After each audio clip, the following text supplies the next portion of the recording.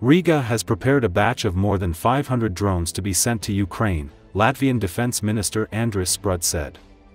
Earlier this month, Riga announced it would send more than 2,500 combat drones of different types to Ukraine in July, worth 4 million euros or $4.3 million. Spruds shared photos on X showing a number of packed boxes that read, Drone Coalition. When the drones are expected in Ukraine wasn't mentioned by Spruds. As a member of the Drone Coalition, Latvia is constantly working on sending drones to Ukraine in accordance with the needs of the army and investing heavily in their production.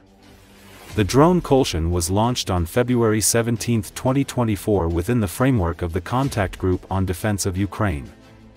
Latvia and Great Britain acted as co-leaders of the initiative.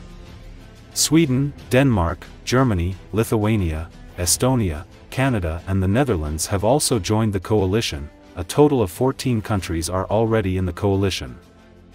Now more than 500 million euros has been collected for the supply of drones to Ukraine. Latvia and the UK are the leaders of the international coalition established to supply Ukraine with drones, which became a crucial capability on Ukrainian battlefields.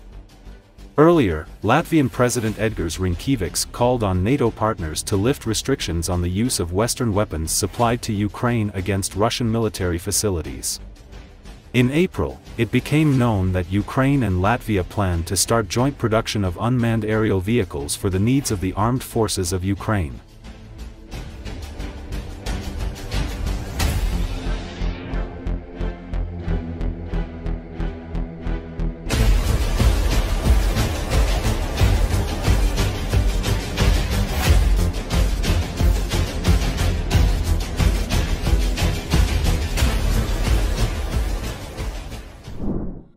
Another 100,000 rounds of ammunition will be sent to Ukraine in July and August thanks to the Czech initiative, Czech Foreign Minister Jan Lipavsky said on Monday. During July and August we will send another 100,000 rounds of ammunition. We are now looking for money to purchase new ammunition so that the initiative can be continued in 2025, Lipavsky was quoted as saying by the České Noviny agency.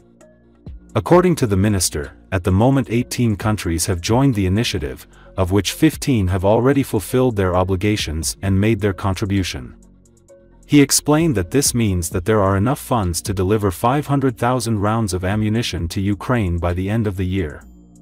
On June 25, Prime Minister Petr Fiala announced that the Czech Republic had supplied Ukraine with the first batch of artillery shells in accordance with the Czech aid program to Kiev.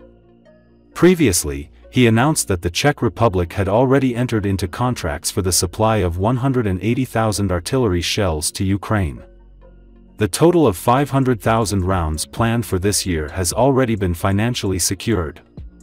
The Czech initiative aims to provide the Ukrainian armed forces with 50,000 to 100,000 large-caliber shells monthly, significantly boosting Ukraine's artillery capabilities amidst ongoing conflict. This effort represents a substantial commitment from the Czech Republic in supporting Ukraine's defense needs and highlights the continued international cooperation in providing military aid to the country.